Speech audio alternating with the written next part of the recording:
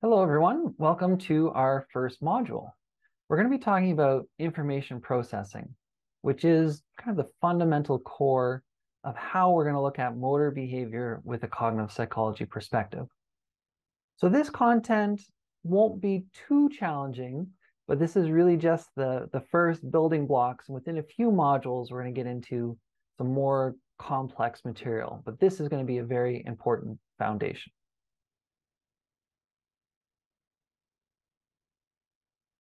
So uh, we're going to spend a little bit of time talking about the history, kind of how we've made it to a cognitive psychology perspective. Then we're going to talk about the stages of information processing, the things that occur in our mind uh, during a reaction time interval. And then we're going to apply this with Donders' subtractive logic, which is quite an old experiment, uh, but still the principles apply uh, today. And they're a great demonstration of information processing.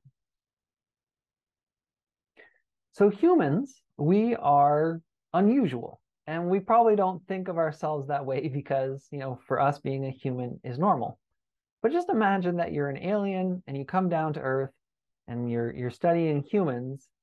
We might do some weird things. Like for example, we sleep for, you know, maybe 8 hours a day and actually even longer when when we're babies. And that's kind of weird, right? I mean, we know that sleep is important. It's restorative slate, uh, stage, uh, and you actually can't survive without sleep. But it's an unusual thing. You think we're wasting, you know, all those hours of our day. Another thing that's unusual is that we like to take risks. And some of us have different uh, penchant for risk than others. Some people like to go skydiving. Some people might find uh, ordinary things like driving to be more risk than they enjoy taking. And you might think, okay, well, what's the purpose of, of being a human? Well, it's to propagate the species and you know pass on your genetic material. And if that's the case, you know, we wouldn't want to take any risks. And yet, some people more than others actually enjoy taking these risks. That, you know, if you go skydiving and your parachute breaks, you're, you're obviously not going to be able to pass on your genes. So why is it we like to take risks? Another thing that I think is is interesting, and especially as a Canadian coming to Texas Tech, is the the sports culture. We have professional sports in Canada, but we don't have anything like uh, the NCAA kind of level of of competition. And seeing you know tens of thousands of people come from you know all over West Texas to attend a Texas Tech football game is quite a spectacle. And from the outside view, you know, it's it's all a little silly. There's tens of thousands of people to watch a few dozen people, you know, throw around a pigskin. Now that's unusual, and yet, you know, that is something kind of fundamental to the human experience. And lastly, a, a joke from Jerry Seinfeld: If aliens saw us walking our dogs and picking up their poop, who would they think is in charge? You know, so we humans we like to have pets, and that's kind of weird. Now, these things are all within the realm of psychology and other fields as well, kind of studying uh, human behavior. Now, within this course, we're going to narrow the focus down to studying human motor behavior. So a few examples of that, and some of these we'll, we'll see later on in the course. Uh, reaching and grasping, you know, a very simple movement that we do hundreds of times a day. Maybe one day I should I should keep account. Um, and seems very simple, straightforward. We use it all the time. And yet, there's still research going on trying to understand exactly how we reach and grasp uh, an object. And this is actually something I do in my lab a bit as well. Navigation. If you think about you know humans navigating our environment, we're all quite good at this. This is a famous intersection in uh, Shibuya, Tokyo, Japan, where they have a, a special time where instead of you know, just people go this way or this way. There's there's a time where no cars are allowed to go anywhere and people can go every which way. there's probably a word for it. I'm not sure what they call it, but it it's it almost seems like chaos. It's like you know four armies kind of descending on each other, and yet everyone walks through this intersection successfully. You know, hardly with ever any incidents at all, and that's fairly remarkable. Balance. You know, we humans, we're pretty good at balance. We're not built very well to be balanced in an upright uh, posture. We have relatively small feet, and a lot of our mass is in our shoulders and our head. And you wouldn't design a building that way. You know, that that would be an unstable building. Uh, and yet, despite our instability to our anatomy, you know, we're quite good at balancing. And with some practice, we can do very impressive things like slack rope uh, walking or uh, think of, you know, feats of, of gymnasts and skateboarders and things like that. Tying your shoes. You know, we, we can probably all do this and we, you know, can do it without a second thought. But at one point in our life when we were young, you know, this was very hard. And it took a lot of practice and, and training to be able to do this. And now it's it's almost like a partner dance between our two hands, you know, choreographed perfectly and able uh, in order to tie our shoes. So these are all examples of human motor behavior that we can investigate with a cognitive psychology perspective. Which we should talk about, you know, what is cognitive psychology and how did we get there? Before cognitive psychology came behaviorism. So let's talk about it first. So within the framework of behaviorism, and I should say that behaviorism and researchers within this perspective still exist today, and it's still valid and worthwhile. Within behaviorism, the perspective was that we're going to try to understand human behavior by looking at the input and the output. In other words, the mind was unimportant, and behaviorists kind of treat the mind as a black box. Yes, there's stuff happening there, but we're not going to open up that black box. We're going to leave it be and just look at what's going on with the input and the output. Behaviorism isn't as popular now as it once was. Its reign was really kind of the 1900s to the 1950s. So what's going on with input? So for within behaviorism, we need to think about the input. Well, we have sensory input, and we can think of our five senses. We have more senses than that, but often in elementary school, we're taught there's five. And to remember these, I like to think uh, of using them when I'm watching a movie and eating popcorn.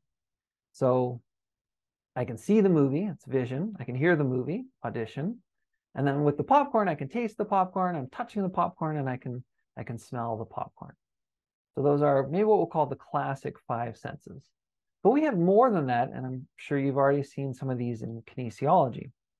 How many is a matter of debate because some sensory systems, you might say, well, they have slightly different tracks, and the nervous system will count those as two or one, but I'd say there's at least nine. So this our sixth sense is not the ability to see dead people, uh, but it's kinesthesia uh, or proprioception. This is the sense of your body's position in space and the forces produced by your muscles. And some of the receptors here would be muscle spindles and Golgi tendon organs. We have our vestibular system, which allows us to sense linear and angular accelerations. And that is uh, located within the uh, inner ear. So another important sense for balance. We can sense temperature. So if you walk into a room that's warmer or colder, you know, you feel that. If you, you know, touch uh, a hot mug of coffee, it feels hot. That's another sensory system. And related to sense of touch, there's also specific receptors for pain. And these, there's different types. There can be very dull pain or there can be, you know, sharp pain. And that's when some people might divide, you know, your pain, one type of sensory input into multiple systems. So that's our input. For our output, what we're really talking about is motor output. And really, movement is our primary way of affecting the world. So if we think of all the wonderful things that our brain can think about, it's all for naught unless we can then act on the world. If I have a great idea for a book in my head, that's not going to help anyone unless I can then, you know, write it out with a pencil or, you know, type it on a, a keyboard. So motor output is imperative. So behaviorists are interested in the input and the output and the relationship between them. And maybe the most fam uh, famous example of behaviorism is classical conditioning. So Ivan Pavlov's research. Ooh, and I'm sure you've seen this in uh, psychology before, but the idea is if, for example, you give a dog a bowl of food, it will salivate. And I'm sure if you gave me a cinnamon bun, you know, I would salivate. Now, if you ring a bell in front of a dog or in front of me, you know, where neither of us are going to salivate.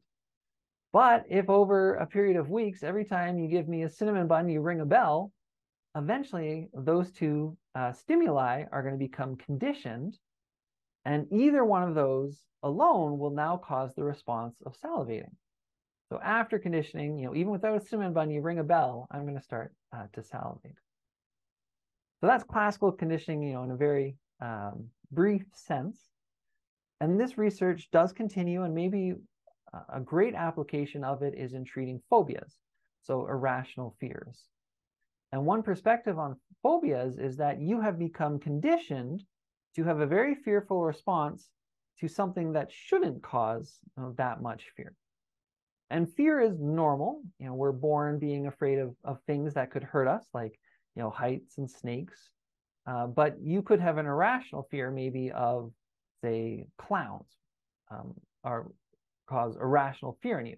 So those things have been conditioned together.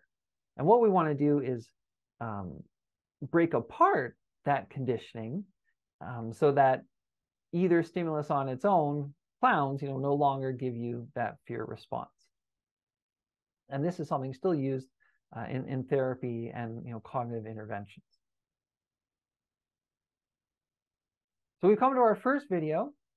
And uh, to watch this video, just look in the description and the link will be there so you can check out an example of uh, classical conditioning uh, from the office.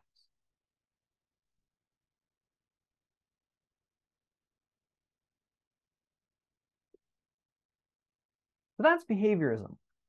And you can kind of see where this is heading. And the next perspective they called cognitive psychology.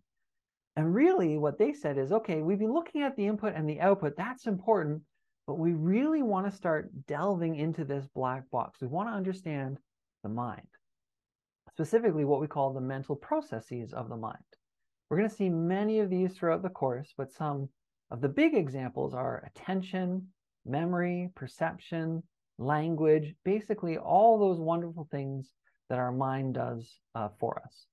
And this perspective, cognitive psychology, uh, became popular in the 1960s and continues to today.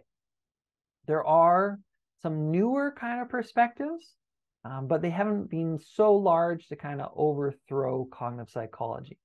Um, some of these other newer perspectives kind of um, exist still with cognitive psychology being the main perspective. So what is happening in that the middle stage there in, in the mind?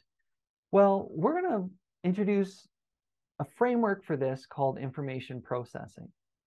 And it posits that there are three main stages of information processing between input and output.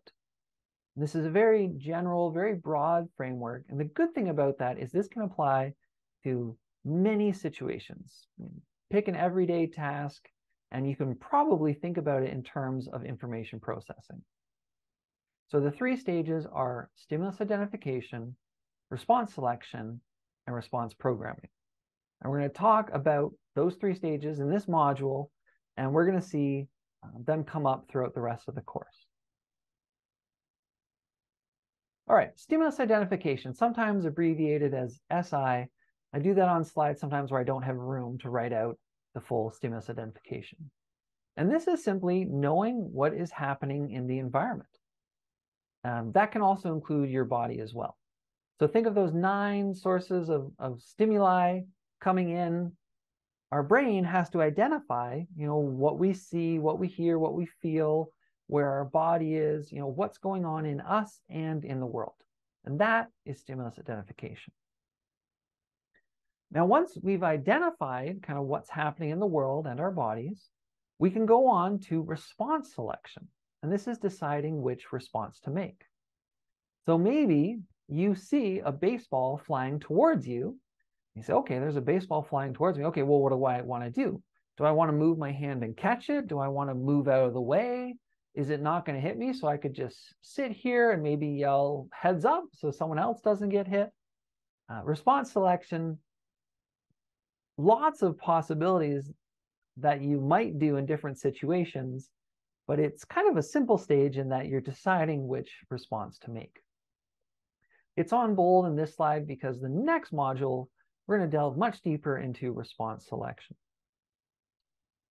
Now, what you after you've decided what you want to do, so let's say I decide I want to catch the baseball, I then have to figure out how my muscles are going to do that.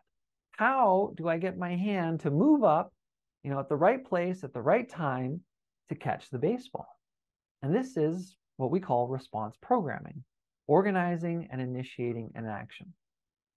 And an interesting thing, unlike the previous stages, which we typically are consciously aware of what we what's happening in the world, we're consciously aware of what we want to do. There are exceptions, and we'll talk more about these. But response programming, we're not very conscious of this stage at all. So I know that I want my hand to do this.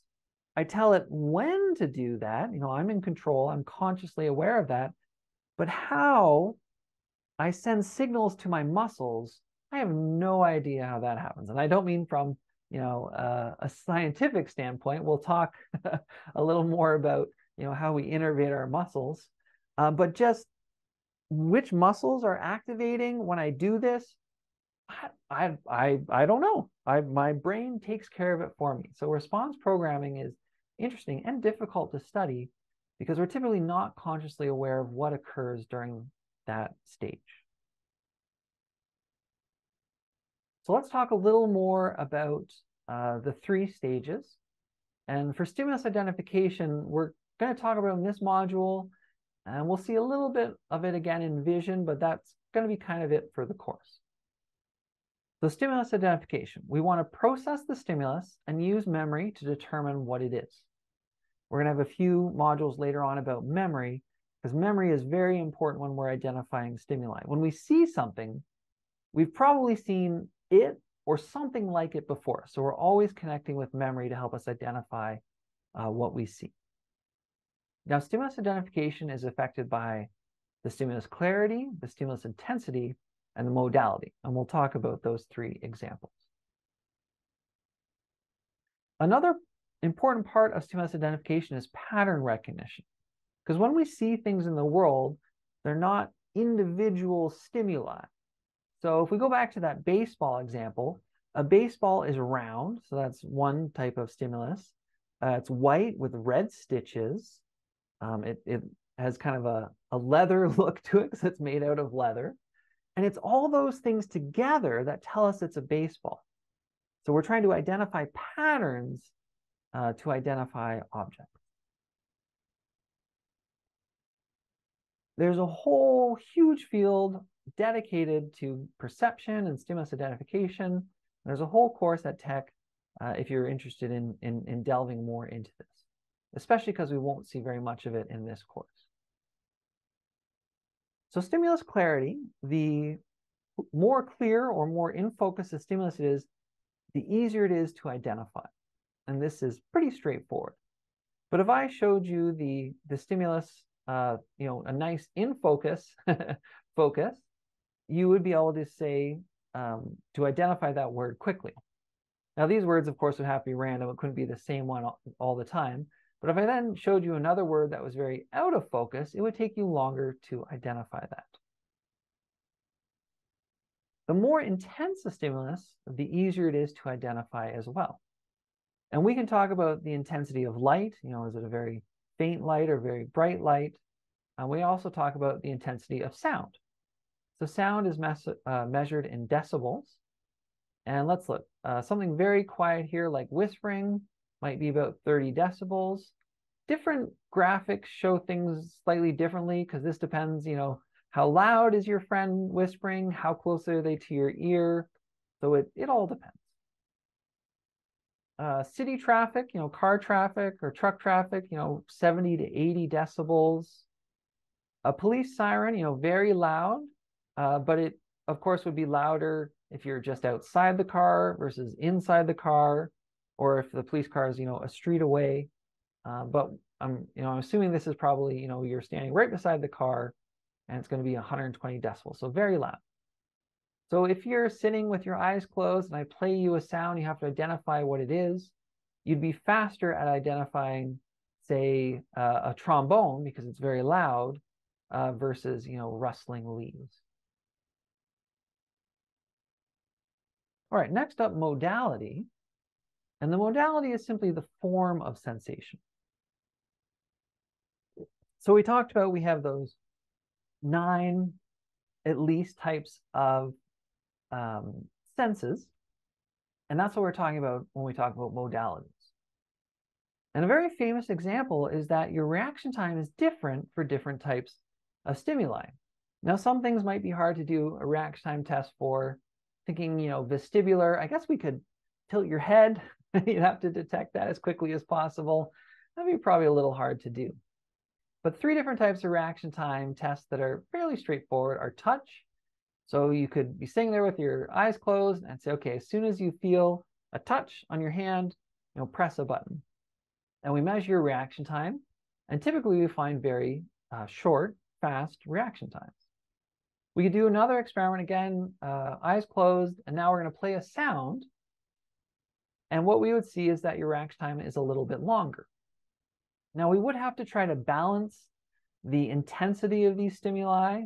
And you know what is a moderate touch and what is a moderate sound? Yeah that's a little hard to do. But typically uh, our reaction time to sound is a little bit longer than to touch. We change the experiment again. Now your eyes are open and maybe there's a light bulb in front of you. And as soon as it illuminates press a button. So reaction time to light we see that your reaction time is actually much longer. Now, why is that? Let's look at sound versus light. So let's go back for a second here. So sound versus light, sound much faster than light. There's a big difference here. So two, we're going to think about the stimulus. Um, how long does it take for our brain to uh, detect, for the stimulus to get translated in the brain. Um, sorry, I should read the points here. It's right here. So we're going to think about two steps during the stimulus identification. First, we have to translate the sensory stimuli into neural codes. So there's a uh, sensory out there in the world. So think about the light. It turns on. We've got to get that light turning on, that translated from a physical stimuli, a light, into neural codes in our brain. So that's step one. Once we've done that, once we've translated the sensory stimuli into a neural code, we then have to detect. Our brain has to say, okay, well, what just happened? What, what is happening in the world? And once we do that, we can then say, press a button for a reaction time task.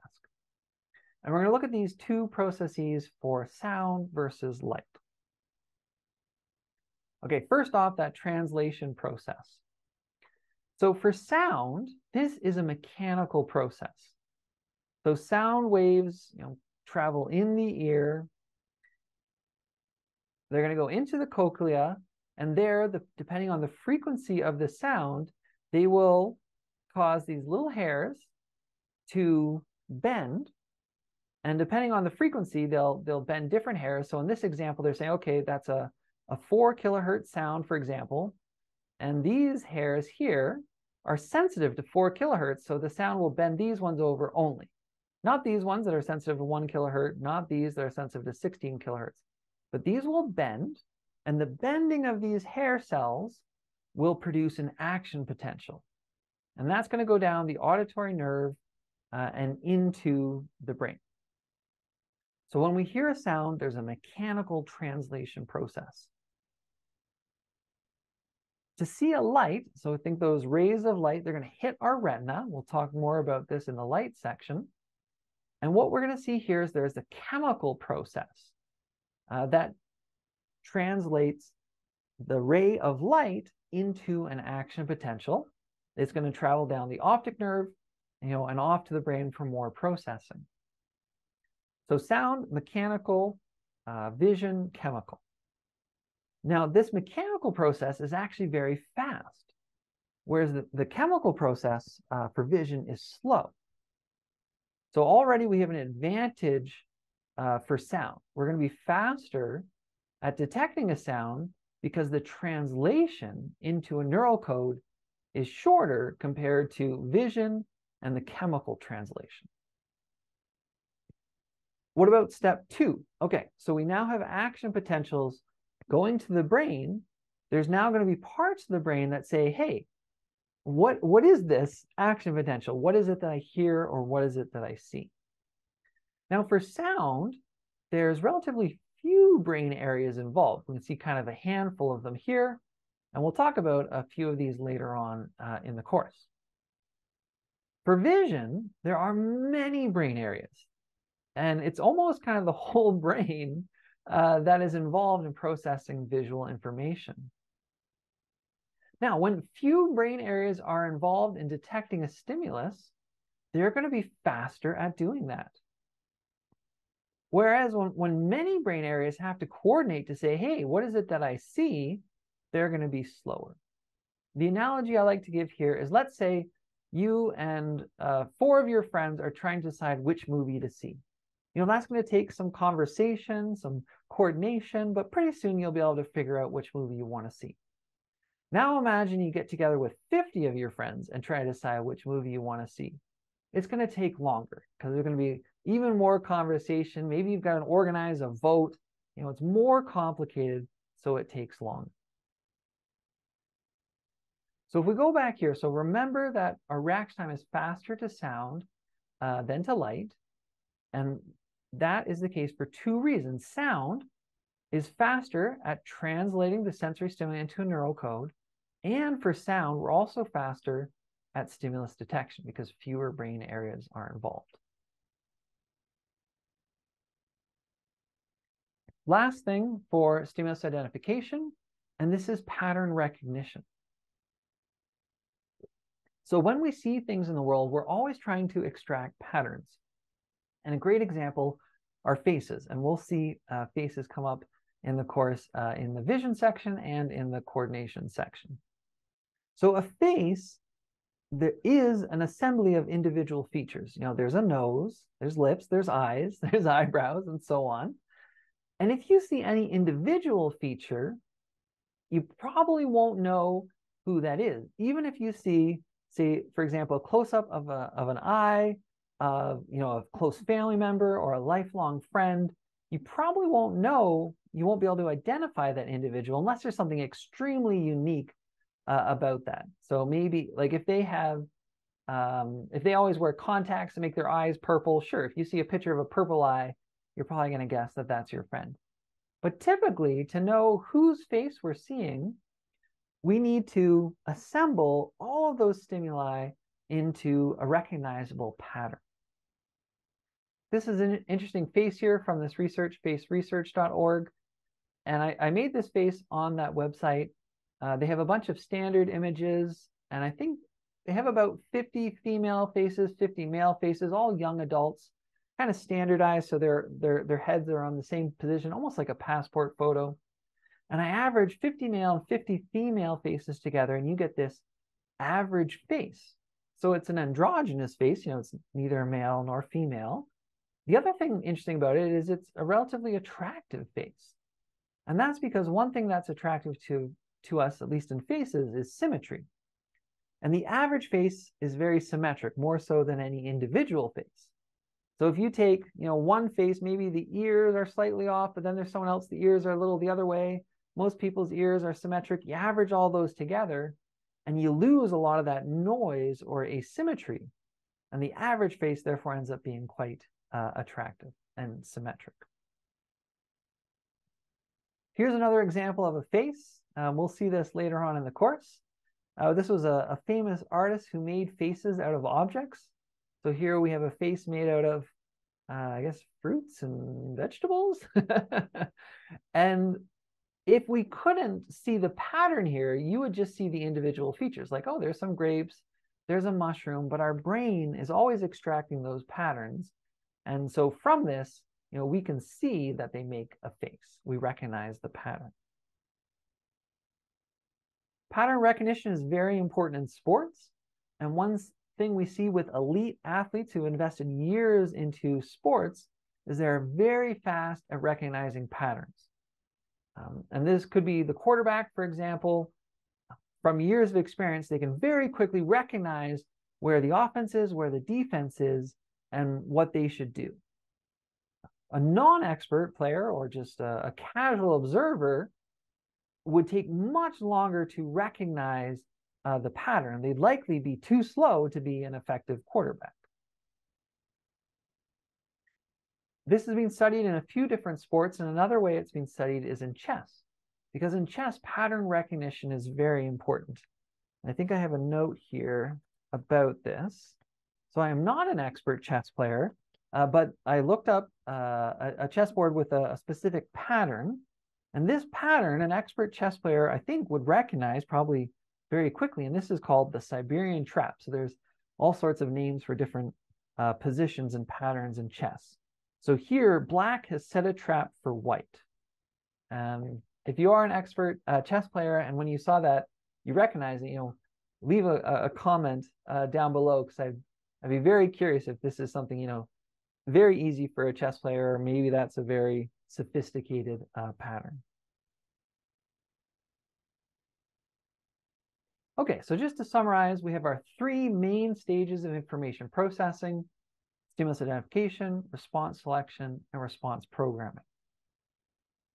In some experiments and Donders' subtraction logic, which is coming up, we're going to need to divide a few of these stages into substages. So stimulus identification, we're going to break into two substages. Response selection will stay as just one stage, and response programming, we also need to break down into uh, two substages. So often in the course, we'll be talking about this three-stage model. Other times, like in Donders' subtractive method, we're going to need to talk about a slightly more detailed kind of five-stage or sub-stage model. So let me introduce those substages now. So stimulus identification, there's two substages. There's stimulus detection, and this is just knowing that a stimulus has appeared or has occurred.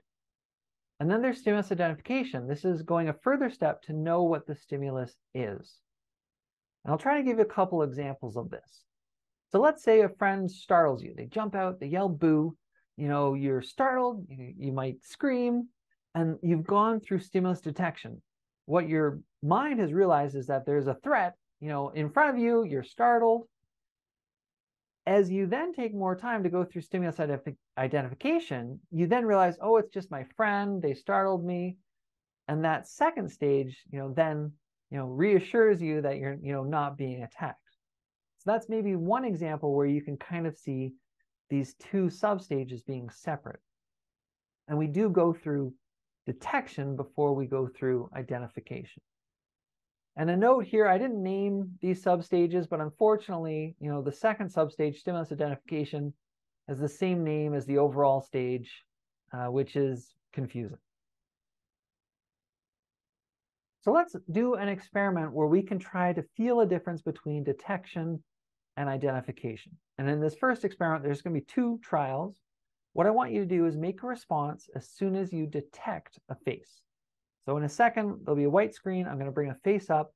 As soon as you detect a face, you don't have to know whose face it is, just that there's a face on the screen. I'm not going to trick you. It's just going to be a face. So as soon as you see something appear on the screen, you know, make a response. You can just maybe, you know, make a response with your hand. Uh, and think about how long it takes you to make that response. Okay, here we go. Experiment one, detect the face. All right, here we go. Okay, one more trial. So again, make a response as soon as you see a face. You don't need to identify the face, just detect that there is a face. Okay, great. Now experiment two, what you're gonna have to do is now make a response as soon as you identify the face. So you'll have to go through stimulus detection oh, a face has appeared, then you're going to have to have some additional time to identify, okay, well, whose face is this? And think about or feel how long your reaction time is. And what you'll probably find is that it feels longer because you have to go through that second substage of identifying the face. All right, two trials. Here we go. So make a response as soon as you know whose face it is. Okay, one more.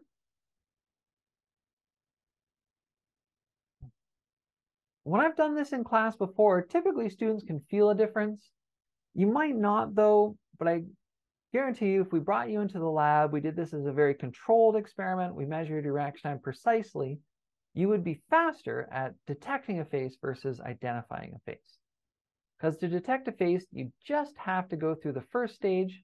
To identify a face, you have to go through both stages, and that takes longer. It will increase your reaction time.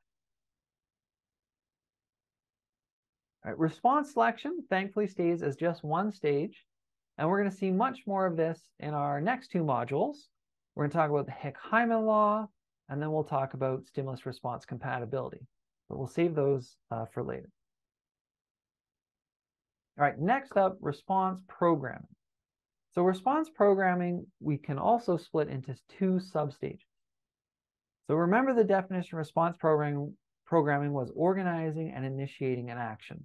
Well, those are the two sub stages. The first is organizing the action, and then initiating the action is the second sub stage. And typically organizing the action, this is the part that occurs outside of conscious awareness. I don't know how my brain gets the motor commands ready to send to my muscles, but I typically do tell consciously tell my brain when to send that motor command out to my hand.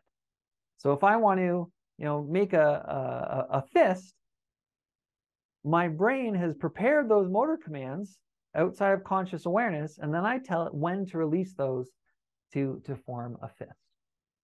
We're going to see lots of examples of response programming kind of peppered throughout the course uh, in, in several modules. So here are those two substages to be explicit. Response programming is organizing the action, and response initiation is initiating the action. And again, unfortunately, the name of the first substage is the same as the overall stage, which is again confusing. So we've got our three-stage model of information processing and then a more detailed five-stage model. And we're going to need this for Donders' subtraction method, um, which we're going to discuss now. Ooh, we're going to talk about traffic intersection example first.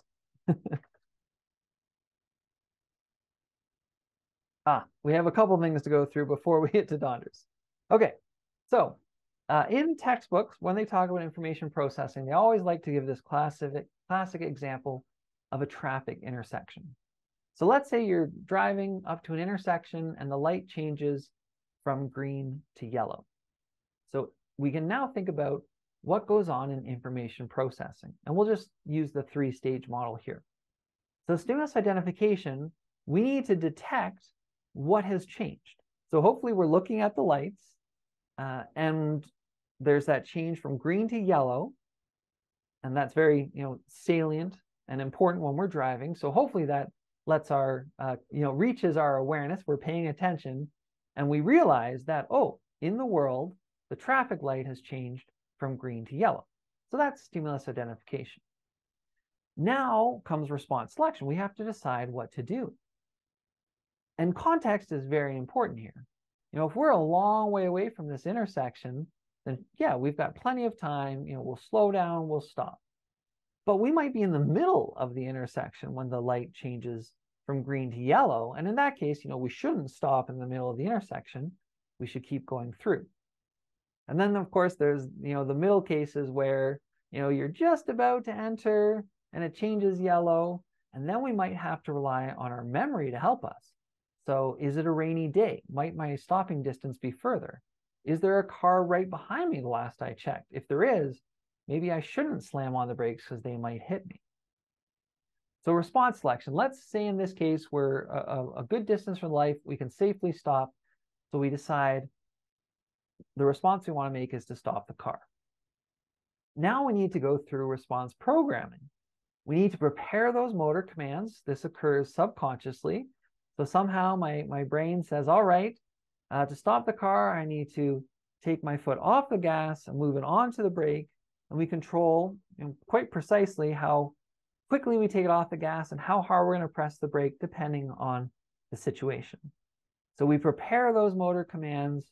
Uh, we say, okay, yep, I want to do that. So start executing those motor commands. And then we, um, our motor apparatus, our muscle accomplishes uh, that selected action.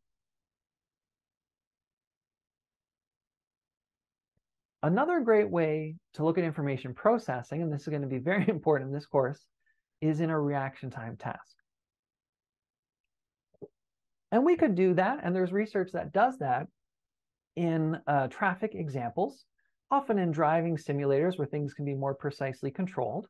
So they might have you driving through an intersection, you know, change the light from green to red at maybe an inopportune time, sorry, from green to yellow at an inopportune time, and look at your reaction time uh, to that stimuli. There's lots of fancy um, driving simulators where they, they do research like this. But we're going to talk about just a very generic reaction time task, kind of a typical reaction time task. And in these, what we typically see are a warning signal. Uh, then there's a, a period of time until we get the go signal. And this duration of time between the warning signal and the go signal we call the foreperiod. So think about the amount of time before the go signal. So we get the go signal, and at some point later, we then decide, um, our, sorry, our movement begins. We've gone through information processing. So the duration of time between the go signal and movement beginning, this is reaction time. And this measures the duration of information processing. Now we begin a movement and then sometime later our movement ends and that period of time we call movement time. Now this might seem a little abstract, so let's give this a, a, a better example, and that is a sprint start in a, um, I think we'll look at a 100 meter race and also a 110 meter uh, hurdle. So we're gonna look here at a, an older video. Uh, this is um, FloJo or Florence Griffith-Joyner, the last I checked, still record holder in the women's 100 meter race with a time of 1049 and this record has stood for quite a while. She set it back in 1988. So as you watch this clip and define the clip, just look in the description of the video. I want you to think about, okay, what is the warning signal? What is the go signal? When does movement begin and when does movement end? So give this a watch and then come back.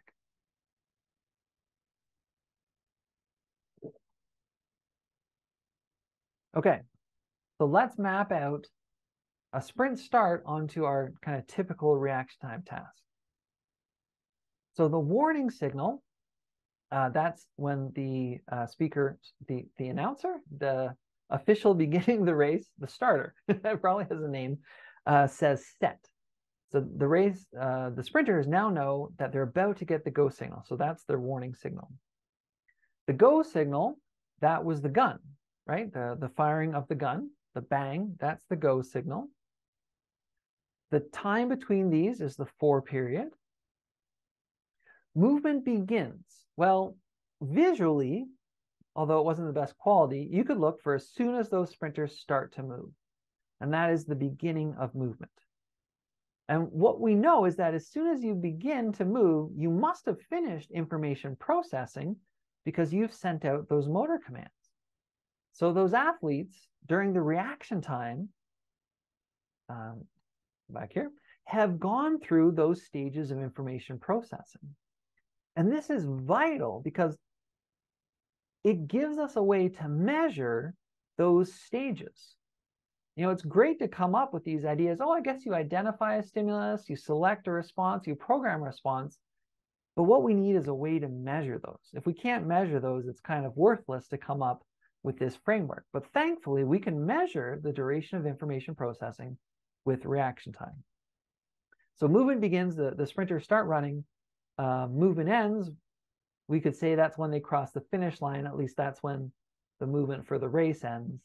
Uh, and, and the movement time is the time between movement beginning and movement ending.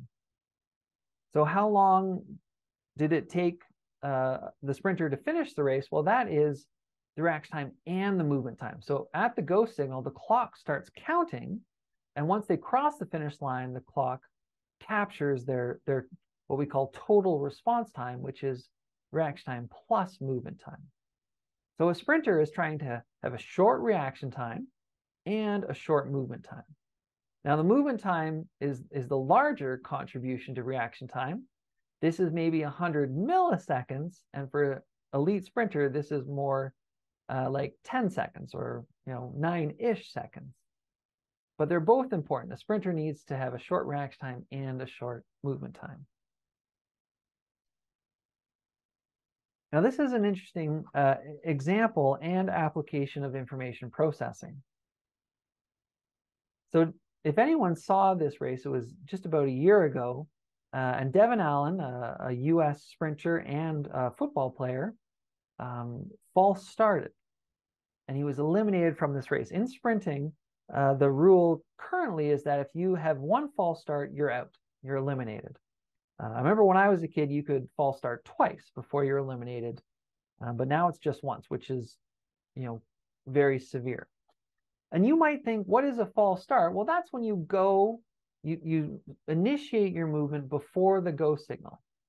And that would make sense.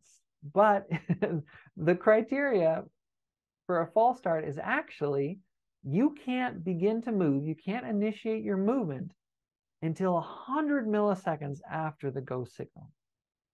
Now, why is that? Well, it comes back to information processing. So here's the go signal. Here's movement initiation. And in sprinting, they say this has to be at least 100 milliseconds. And the idea is you can't instantaneously identify the go signal, select your response, and program your response. And some caveats coming up about that but there is there's a, a small finite time that you need to as a sprinter spend to go uh, to to determine you've heard the stimulus and to initiate your your motor command. So in other words if your reaction time is 10 milliseconds for example and say well that's that must be a false start because although you had a very short reaction time it's not long enough for you to have heard the go signal and reacted to it. You must have anticipated.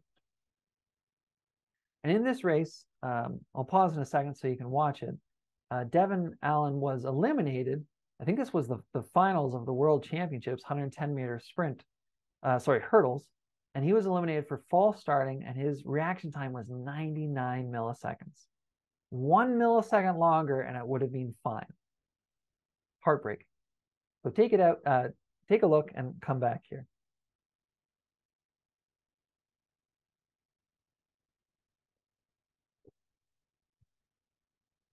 So with reaction time being you know vitally important for cognitive psychology and uh, for a sprint start, you might wonder, well, how is it measured in both in the lab, which we'll get to, and for sprinters?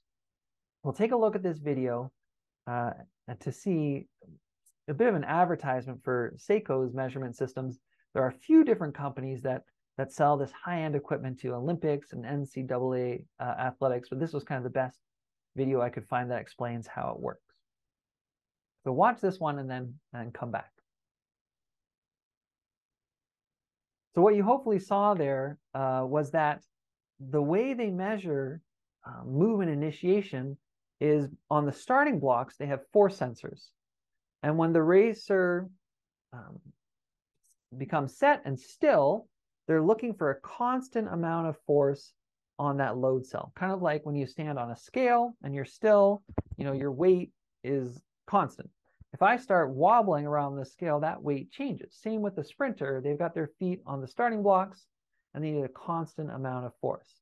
And that's their baseline level. And then what happens is you get the go signal and eventually after they go through information processing and reaction time, the amount of force will increase as they push off the blocks.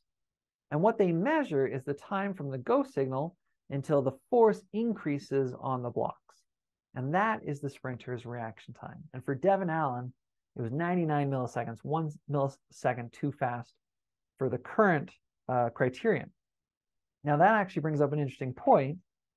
It was not always 100 milliseconds. I don't think I was aware of this as a kid, but until 1990, your sprint start uh, had to be 120 milliseconds or slower. And as athletes got faster and faster, they decreased that in 1990 to the current standard of 100 milliseconds. Now, is that fair? Um, you know, did Devon Allen have have a, just a fast, good reaction time, or did he anticipate? Hard to say, but some research um, that has been um, funded by um, one of the athletic foundations. Uh, they asked reaction time researchers to, to, to estimate the minimum reaction time in a, in a sprint start task. And in this one study, these researchers estimated that the quickest your reaction time could be, you know, in a trained sprinter is 78 milliseconds. And that is actually much faster than the current standard of 100. And at the end of this article, they actually recommended that the standard be moved from 100 uh, down to 80. And if that had been in place, then Devon Allen's sprint start, you know, would have been perfectly legal. Okay, now finally to our example of Donders' subtractive method. And here we're going to see reaction time applied in a laboratory setting to delve deeper into the stages of information processing. This is a very old study, uh, originally published in 1868, um, you know, and then republished kind of 100 years later in 1969, which is, you know, kind of still a long time ago. So this is very fundamental uh, reaction time research.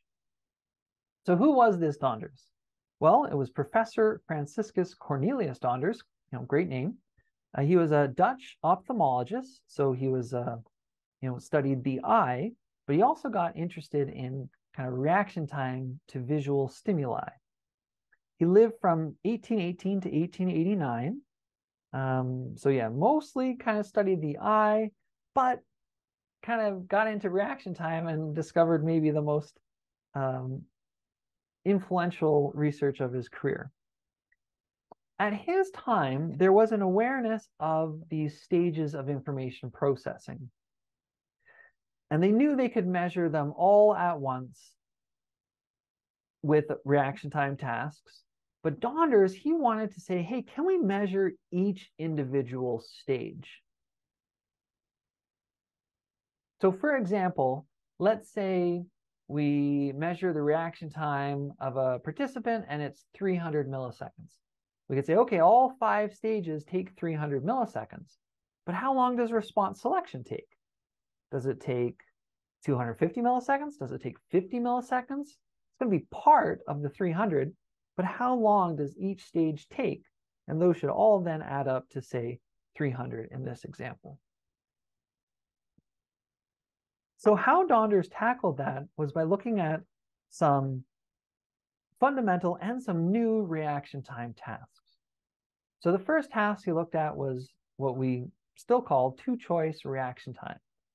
And here, basically, there's two different stimuli, and one requires a left response and one requires a right response. So two stimuli, two responses. And the way they did it in this case is they had a light, and that light could turn on red, for example, and if it was red, you were told, you know, press the red button. Or the light could turn on green, and you were told if it turns on green, then press the right button. So I hope I said red, left, green, right. so two choice because there's a choice between two stimulus response alternatives. So a fairly straightforward task. You know, this is not, uh, you know, neuroscience or or or um, you know brain surgery but we'll see how and why this is important. Okay, let's try this for ourselves. So if you use your hands on your desk or on your lap, if the light is red, left response, if it's green, right response. I think we'll try four or five tries. Okay, here we go. Okay, good. Let's keep going.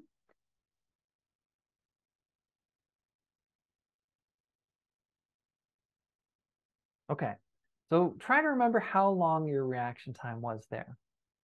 Let's map this onto our typical reaction time task. So in Donders' task, there wasn't a warning signal.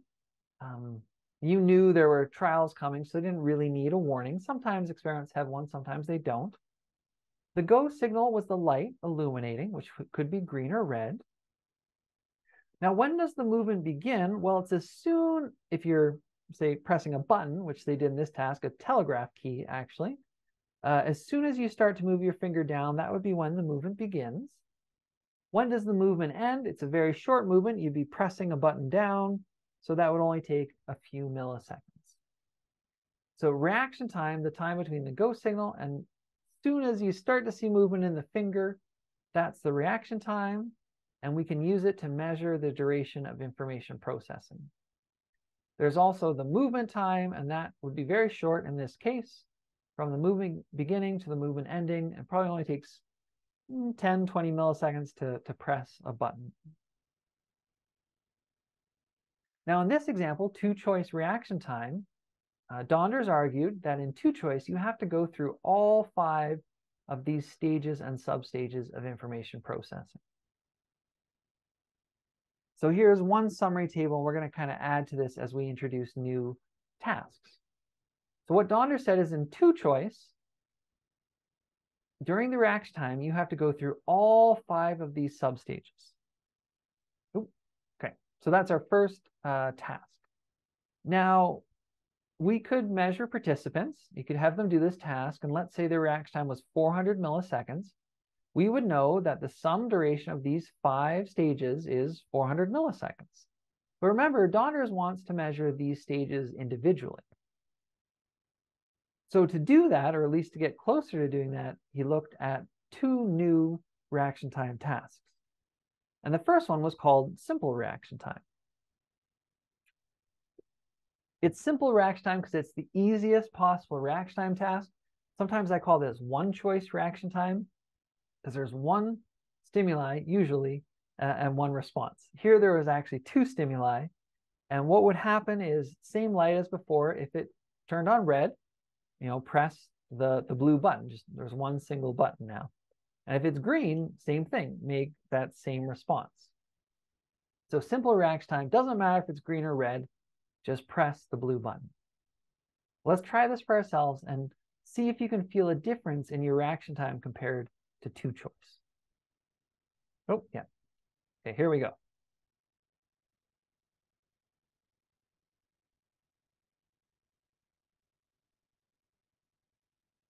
Okay.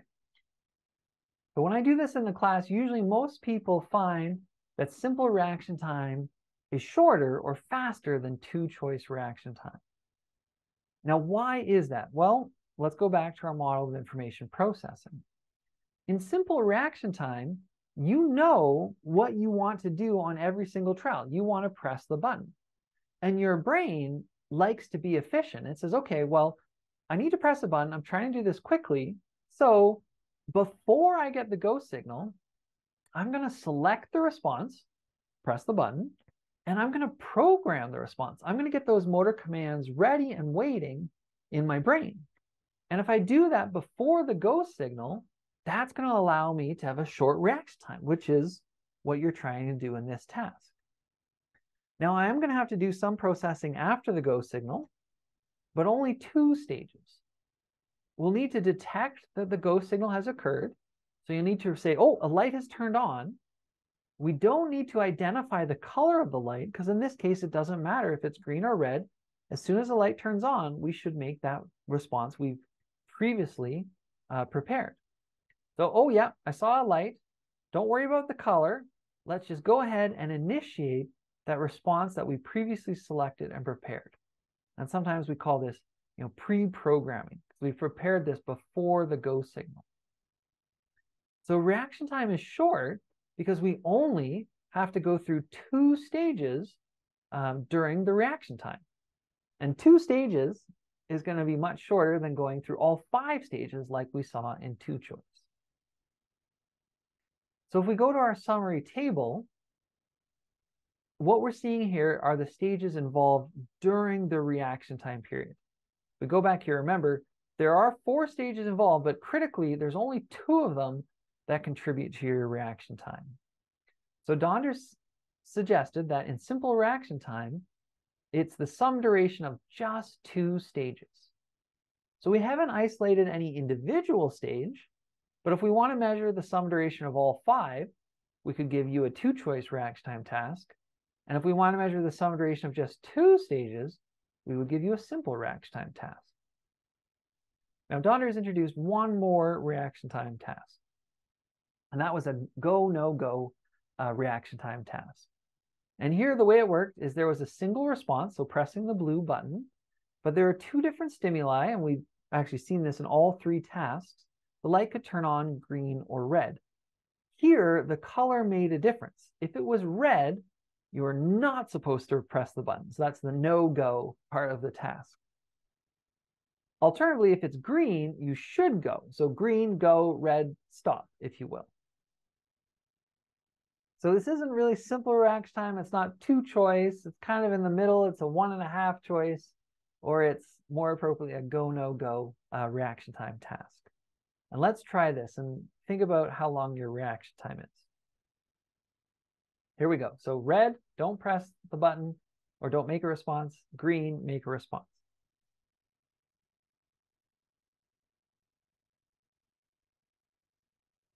Okay, good job. That it's typically difficult to tell how fast or slow you are at go no go compared to simple and two choice. If we brought you in the lab, what we see is it falls somewhere in the middle. It's usually a bit slower than simple, but not as long as two choice. But it's usually not that much longer than simple. So we can see that in your reaction times, but it's hard to feel the difference. It's very easy to feel a 100 millisecond difference, but the difference between simple and go no go smaller than that. We'll see some example numbers later. And eventually that's hard for us to perceive that small a difference in reaction time. So what did Donders suggest about go no go? Well, he said, you know what? I think your brain will still select a response. If I'm going to respond, I know I want to press the button. So I'm going to go ahead and prepare that in advance. I'm going to be efficient so that I can be fast. Now, after the go signal, we're going to have to go through three stages. So remember, simple, it was just two. For go, no go, there's three. We have to detect that a light is turned on, but we also need to know the color of the light. So we have to identify whether it's a green light or a red light. If it's a red light, we won't do anything more. If it's a green light, we'll go ahead and we'll initiate that pre-programmed response. So go, no go should be a little bit longer than simple because it involves three stages, whereas go, no go involved two. And just a reminder, yes, there are five stages here, but critically, there's only three stages that occur during the reaction time, the part that we're measuring. So here's our summary table. And Donders argued that go, no, go is the sum duration of stimulus detection, stimulus identification, and response initiation. Again, we haven't isolated any individual stage, but we can measure different, we can measure subsets of stages in three different ways. Ah, here are those uh, examples. So I I tried doing this experiment. I, I run this with my grad class. So I, I tried it, uh, I think, the last semester. And my results followed the, the expected pattern. So reaction time for two choice is the longest. Simple is the shortest. And there's a about a 200 millisecond difference here for me. And that would be something that you can feel and see. That's a, a very big difference in reaction time. But the difference between simple and go no go, you know, this is about 50 milliseconds, that's kind of small, and you might not feel that small of a difference. But it, it is there, and we can see it when we precisely measure your reaction time. Okay, we've gone halfway through Donders, uh, and let's just kind of apply what we've learned so far. So down here, I have our summary table, I have my reaction time values, and we're going to use these for three questions. So how long does it take me to go through stimulus detection and response initiation? So how can we answer this based on what we know from Donders? Well, let's see, stimulus detection and response initiation. We've got two stages, and those are the two stages that occur in simple reaction time. So if we want to know how long it takes for me to do those two stages together, we can just look at my results for simple reaction time, which is 223 milliseconds. Another question we can answer based on what we know so far is how long does it take for me to go through stimulus detection, stimulus identification, response selection, response programming, and response initiation. So not each individually, but all five stages together. Well, that occurs during two choice reaction time. And my reaction time there was 424 milliseconds. And finally, as you might predict the last question here, how long does it take for me to go through stimulus detection, stimulus identification, and response initiation. So let's see, detection, initiation, and response initiation. So we just want those three stages, which is go, no, go. So the answer here is 288 milliseconds. Now that's not the end of Donders, and remember that's called Donders subtraction method, and we haven't done any subtraction yet. Uh, and that's what we're going to do now. So there's three other ways to look at different subsets of these stages. But it's not three new reaction time tasks, it's by subtracting from uh, two tasks from that list of three that we already have. And, and let me show you that. So there's three subtractions. One is go, no, go minus uh, simple. The other is two choice minus simple. And the third is two choice minus go, no, go. And those are really the only three options. You could do, say, simple minus go, no, go, but you get a negative reaction time, which you know, isn't physiologically possible, so it's not really relevant in this situation. So let's look at this first one, go, no, go minus simple. So mathematically, you know, this is straightforward. Let's use my numbers again. So go, no, go reaction time was 288, and my simple reaction time was 223. So, you know, 288 minus 223, you know, we can solve this, or PowerPoint can solve it for me. it's 65 milliseconds. But what is that telling us about information processing? And that's the more interesting part.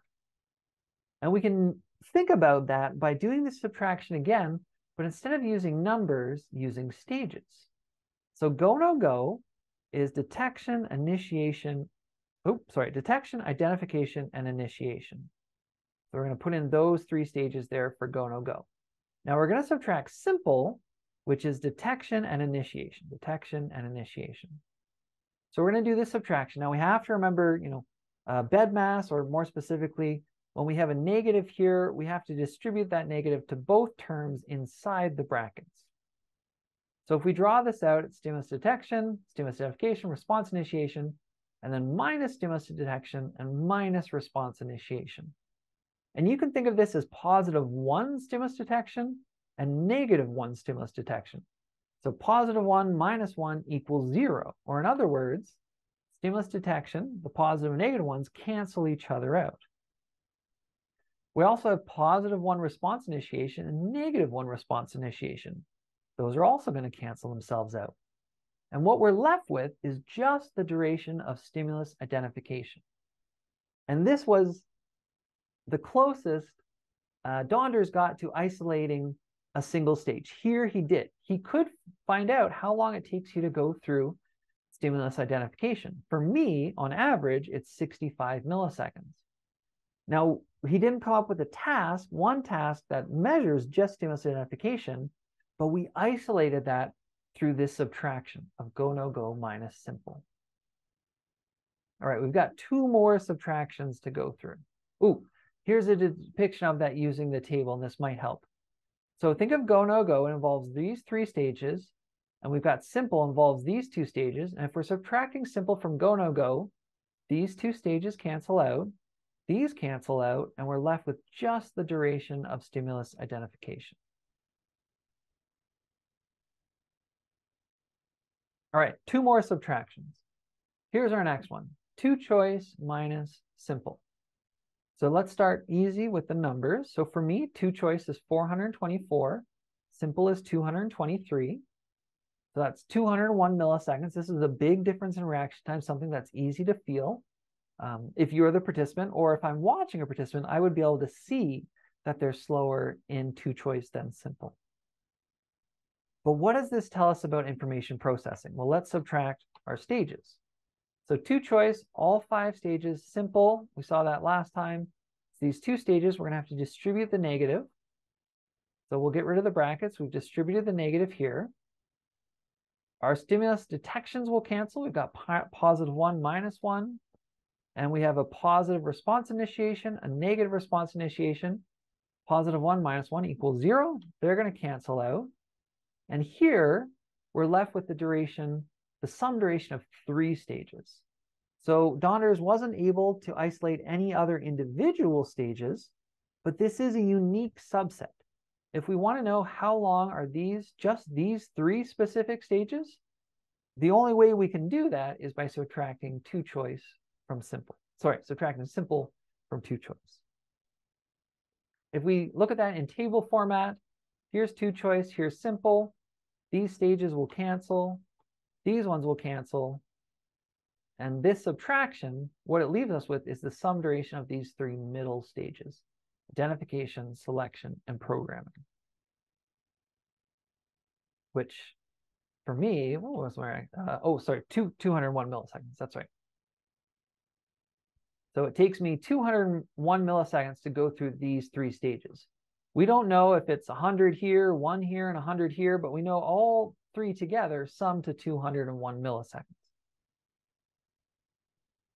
All right, last subtraction. So the last unique subtraction we can do is two choice minus go, no go. So numerically, that's 424 minus 288 is 136 milliseconds. What does that represent? Well, we've got our two, the stages involved in two choice. We've got three stages involved in go, no go. We're going to distribute that negative to all three terms. And then these are going to cancel out some of our other stages. So we've got positive and negative stimulus detection, positive and negative stimulus identification, positive and negative response initiation, and that leaves us with the sum duration of response selection and response programming. So for me, it takes me 130 milliseconds on average to select a response and program a response. Finally, in table format, we've got two choice, go, no, go. Common stages will cancel out, and we're left with the sum duration of selection and programming. Okay, so using our subtractions, we can apply Donders in three new ways. And um, these three questions will involve that. So first, how long does it take for me to go through stimulus identification? Well, we can't just say it's the duration of two choice or simple or go, no go, because we want to isolate a single stage and none of those different tasks do that. So we're going to need a subtraction. So to isolate just stimulus identification, if we take go, no go, subtract simple, these will cancel out, these will cancel out, and we'll be left with just this. So to answer this question, we need to take 288 and minus 223 um, to get 65 milliseconds. So how long does it take Dr. Blinch to go through stimulus identification, response selection, and response programming? So we're trying to isolate these three middle stages. So if we start with two choice, it's a good start, but we want to get rid of the first and last stage. And we can do that by subtracting simple reaction time. So 424 minus 223 gives us 201 milliseconds. That's how long it takes me to go through those three stages on average. And lastly, how long does it take for me to go through response selection and response programming? Okay, so we want to isolate these two stages. So let's start with two choice, but we want to get rid of these three stages, which we can do with go, no, go. So we'll do 424 minus 288. So it takes me 130 milliseconds to go through response selection and response program. So if we take our second application there and we remember our first application, there's six different ways we can use Donders. There's three different tasks that involve different stages and substages. And then there's three subtractions, which will isolate three different subsets of stages. And it might sound a little complicated, but any question I could ask you about Donders, you know, there's only six possible ways to answer it. And what you could do is go through all of them. So if there's a question on Donders, and there's some in the sample questions, and I'm sure there's some on the test, uh, you could say, okay, well, is the answer two choice? No. Is it simple? No. Is it go, no, go? Oh, yes, it is. Great. Um, or, you know, if it's not, then is it this one? Is it this one? Is it this one? And, you know, it you really only have to try six times to get the right answer. Or you'll have to think about it in six different ways. What I like to do, I have a little heuristic here, is when I, uh, I'm trying to answer a question on Donders, I first ask, are the requested stages uh, one of the three reaction time tasks? So um, are you, you being asked for what the sum duration of identification, and initiation. So those two stages, remember, are simple reaction time. So if they are, then we can just look up, well, what is simple reaction time? You know, and you're done.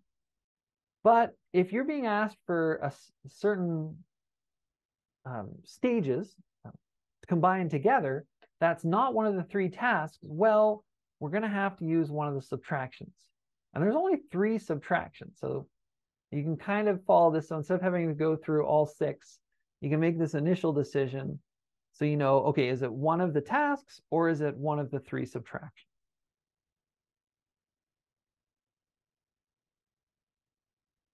Just a little update on Donders kind of to bring it into the modern era.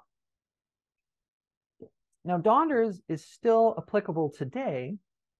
And for example, in this uh, paper, part of my uh, dissertation, I did look at two choice versus simple reaction time. Uh, and I subtracted those to isolate these three stages. What has changed since Donders' time is we no longer believe that go, no go is exactly what Donders uh, thought it was composed of.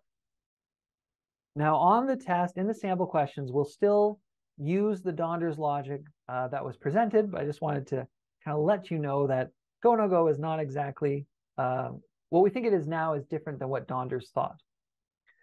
Although I think it's still amazing that, although it's been a long time since Donders research, that much of it has, has survived intact. So what happens in go, no go? Well, more recent research, and this is one example, has suggested that go, no go is actually very similar to two choice. Um, so the idea is that if you're told that you might have to go or you might not go, Donders said, okay, well, you probably select and prepare that response in advance.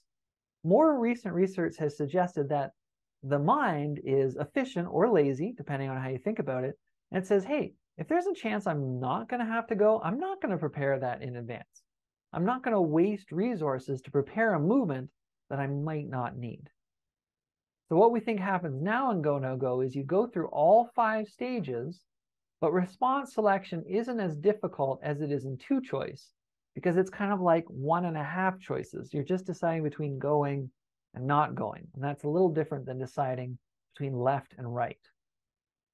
And because this is a bit different than this, you know, we can't really subtract these very well. You know, these stages would cancel, these would cancel, these would cancel, and these would cancel. But this two choice, subtracting one and a half choices, kind of leaves us with half a choice, which is interesting to think about, but not a very clean subtraction. Uh, so nowadays, when Donders is used, we'll see two choice, we'll see simple, we'll see their subtraction, uh, but we don't often thrown go no go into the mix. More recent research using electroencephalography or EEG, this uh, cap here shown by Stephen Colbert that, that uh, measures brain activity via small electrical potentials from your brain that travel through your scalp. Um, this has been used to further divide uh, information processing into individual stages. Um, so with EEG, it's actually quite straightforward to divide stimulus identification from response selection and response uh, programming. So Donders' mission has progressed in, in, in recent eras, and there's still research that's going on with EEG and other technologies to further differentiate, you know, within these substages and uh, even the substages of response programming. All right, so great job. We've made it to the end of our first module. Um, take a look at those sample questions and then good luck on the test.